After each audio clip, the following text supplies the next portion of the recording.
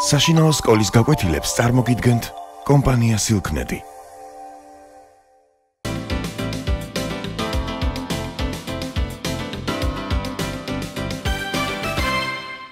მოგესალმებით. დღევანდელი გაკვეთილის თემა გახლავთ წინარე ქრისტიანული პანთეონი და რწმენა წარმოდგენების საქართველოში. უძველეს დროს ადამიანი მოწმე ხდებოდა უამრავი ბუნებრივი მოვლენისა, რაც მისში მასში გაურკვევლობას იწევდა და შიშს. ასე რომ ადამიანი, როდესაც ნახავდა ანჭექა ქუხილს, ელვას, გვალვას, განსაკუთრებით ძრწოდა და ზეციურ ძალებს ევედრებოდა. მზეს ევედრებოდა, რომ მალე გამოდარებულიყო, ხოლო ციურ ნათობებს რომ წოდიადი გაფანტულიყო. ბოლოს და ბოლოს, როდესაც გამოიდარებდა, ის მიიჩნევდა, რომ მისმა ვედრებამ გაჭრა და ზეციურმა ძალებმა შეისმინეს მათი თხოვნა. სამისოდ ის ძღვენს უძღვნიდა ხოლმე ამ ღვთაებებს. ამას მსხვერპლ შეწირვა ერქვა. ჯერ კიდევ ზედა პალეოლითისა და მეზოლითის მიჯნაზე ჩამოყალიბდა პირველყოფილი რელიგია, როდესაც ადამიანმა დაიწყო ბუნების მოვლენების გასულიერება. ან თავის წინაპრად მიიჩნია მცენარიან ცხოველი. ან უბრალოდ რაღაც ნივთს მიანიჭდა განსაკუთრებული მნიშვნელობა და ფიქრობდა, რომ თუ ის ამ ნივთს ატარებდა, აუცილებლად დაიცავდა ავისულებისაგან და კეთილდღეობას მოუტანდა მას. პირველყოფილი ადამიანი ამჩნევდა, რომ ზოგიერთი ბუნებრივი მოვლენა მისთვის სიკეთის მომტანი იყო, ზოგი კი პირიქით საზიანო. ამიტომ ის ცდილობდა კეთილის სულებისთვის პატივი მიეგო, ხოლო ბოროტის სულებისთვის ან მოენადირებინა მისი გული, ან უბრალოდ შეეშინებინა. ამისთვის პირველყოფილი ადამიანი ცდილობდა ერთგვარი რელიგიური რიტუალი ჩაეტარებინა საამისოდ. ერთ-ერთი ასეთი რელიგიური რიტუალი გამოსახული გახლავთ თრიალეთში აღმოჩენილ ვერცხლის თასზე. როგორც მეცნიერები ვარაუდობენ, ვერცხლის თასზე გამოსახული უნდა იყოს ნაყოფიერების ღვთაებისადმი მიძღვნილი რელიგიური რიტუალი. ამ თაზე გამოსახული გახლავთ შემდეგი სცენა. სიცოცხლის ხის ქვეშ ზის პიროვნება შეიძლება ეს ღვთაება იყოს, ან ქურუმი, რომელსაც სახეზე ნიღაბი აქვს აფარებული. ხელს სასმისი უპყრია. მის წინ გახლავთ სამსხვერპლო და სამსხვერპლოს ძირში ორი ცხოველის ფიგურაა გამოსახული. შესაძლოა ისინი მსხვერპლად შესაწირი ცხოველებიც კი იყვნენ. ამ ცენტრალური ფიგურისკენ მოემართება 22 ადამიანი, რომელთაც ასევე სახეზე ნიღაბი აქვთ ჩამოფარებული, ტანთ აცვია ტყავის ხიფთანი მელიის კუდებით და წვერაზნექილი ქალამნები. მათაც ხელში სასმისი უჭირავთ. როგორც მეცნიერები ფიქრობენ, სწორედ რომ რელიგიურ რიტუალთან გვაქვს საქმე. ვერცხლის თასის ქვედა სარტყელზე გამოსახული გახლავთ ირმებზე ნადირობის სცენა. საინტერესოა ჩვენი წინაპრები რატომ გამოსახავდნენ ნადირობის სცენას სარიტუალო ჭურჭელზე, როგორ ნადირობდნენ, რა იარაღს ხმარობდნენ და საერთოდ რა დანიშნულება ჰქონდა მათთვის ნადირობას. საზოგადოების განვითარებასთან ერთად ყალიბდება და იქმნება ადამიანის რელიგიური რწმენა წარმოდგენები. ადამიანმა საკუთარი დაკვირვების შედეგად დაასკვნა, რომ სამყარო შედგება სხვადასხვა ფენისგან, ანუ სკნელისგან. და მას სამყარო დაყო სამ ფენად. ეს გახდათ ზესკნელი, ანუ ზეციური სამყოფელი, მიწა, რომელზეც ჩვენ ცხოვრობთ, ანუ სკნელი და ქვედა სამყარო, მიწის ქვეშეთი, ანუ ქვესკნელი. შესაბამისად, ქართულ მითოლოგიაში ამ სამ ვერტიკალურ სამყაროს სამი ფერი შეესაბამება. ეს გახლავთ თეთრი, წითელი და შავი. სამყაროს წინა ნაწილი უჭირავს წინასკნელს, ხოლო უკანა ნაწილი კი უკანასკნელს.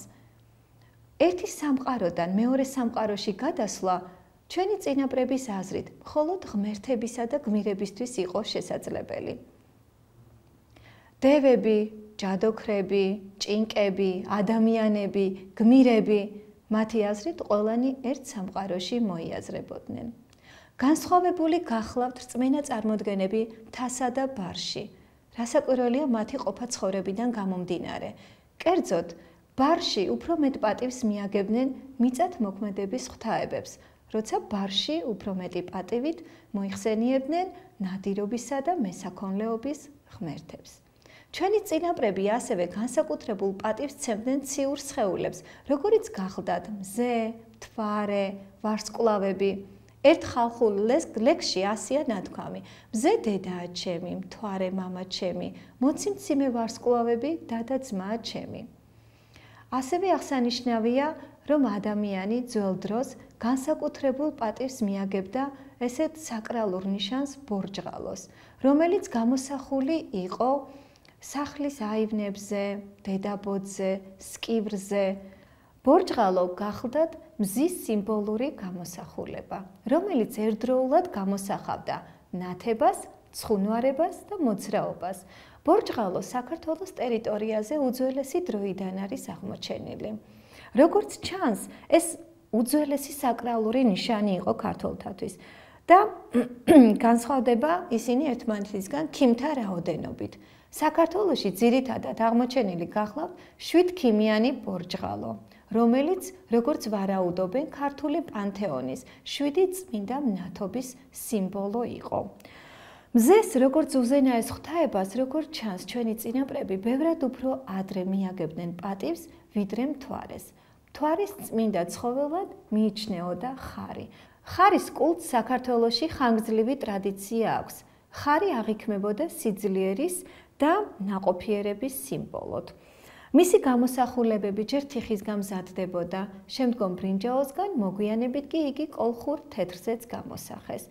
ოფიციალურ სახელმწიფო რელიგიასა და კულტებთან ერთად არსებობას განაგზობენ ტრადიციული ხალხური სარწმუნოებაც. როგორც ჩანს, ის ყველაზე ნაკლებ გავლენას განიცდის უცხოური რელიგიების მხრიდან და ოჯახის მფარველი ნაყოფიერების ღვთაების თაყვანისცემის იდეას ეფუძნებოდა. კერიისა და დედაბოძის გარშემო სრულდებოდა მაგიური რიტუალები. რომელთა ბოლომდე აღმოფხრა ქრისტიანულმა სარწმუნოებამ ვერ შეძლო. დედაბოძი წარმოადგენდა ადამიანის საცხოვრებლის ცენტრალურ ბოძს, რომელიც აღმართული იყო სახლის ცენტრალურ ადგილას და მას ებჯინებოდა გვირგვინიანი გადახურვა სახლის. ყველა რელიგიური რიტუალი, რომელიც კი სრულდებოდა, კერიისა და დედაბოძის ირგვლივ ხდებოდა. როგორც ჩანს, როგორც ვარაუდობენ, დედაბოძი წარმოადგენდა უძველესი ტრადიციის ხის კულტს, უпроსწორად სიცოცხლის ხის კულტს. ამ დედაბოძის თავზე ჩუქურთმები იყო გამოსახული. ჩვენი წინაპრები დედაბოძე გამოსახავდნენ როგორც გეომეტრიულ ფიგურებს, ასევე წრეებს, ვარსკვლავებს, მზეს, თვარეს, ადამიანის ხელს და რასაკვირველია ბორჯღალსაც. დედაბოძი წარმოადგენდა ხალხის წარმოდგენით დედაბოძი იყო ოჯახის წმინდათა წმინდა ადგილი.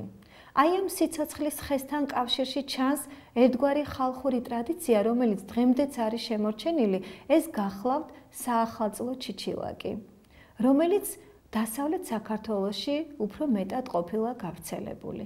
ჩიჩილაკს ამზადებდნენ თხილის მსხვილი ჯოხისგან, რომელსაც ჯერ გაახურებდნენ მეტი დრეკადობისთვის, გააცლიდნენ კანს და შემდგომ სხვილი და მჭრელი დანით დაიწყებდნენ ათლას ქვედა ნაწილიდან ზედა მიმართულებით. წარმოიქმნებოდა ბურბუშელები, რომელსაც უწოდებდნენ ჩიჩილაკის ან ბასილის წვერებს.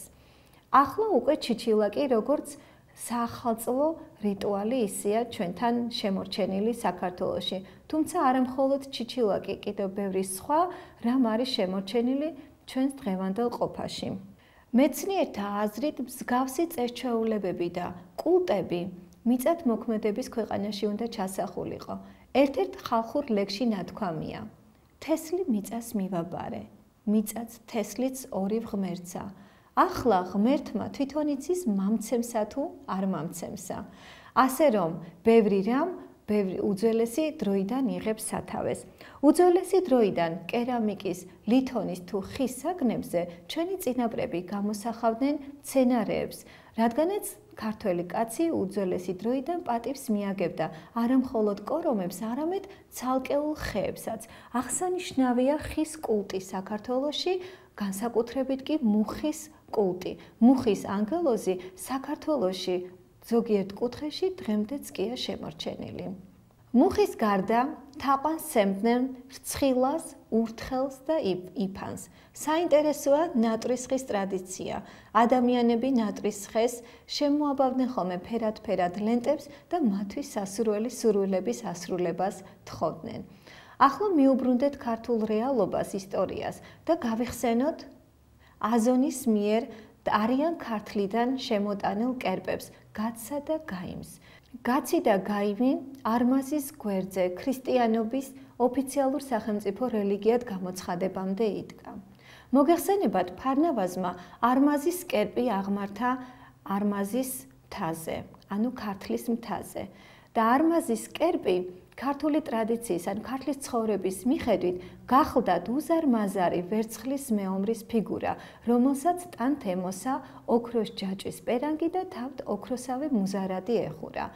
თვალების ნაცვლად ბრჭყიალა ქვები ქონდა ჩასმული, ხელთ მოელვარე ხმალი ებრა, ასე რომ წარმართებს საოცარ შიშს გვრიდა არმაზის ხილვა. და ისინი ფიქრობდნენ, ვინც კი არ მას შეეხებოდა, ის იმ წამსვე დაიღუპებოდა. ასეთი შიში ქონდათ მის წინაშე წინაპრებს. მაშ ასე ჩვენი წინაპრები სანამ ერთ ღმერთიანობას აღიარებდნენ, ისინი თავისებურად გამოხატავდნენ თაყვანიცემა სხვადასხვა ციური სხეულების, სხვადასხვა ტრადიციების მიმართ.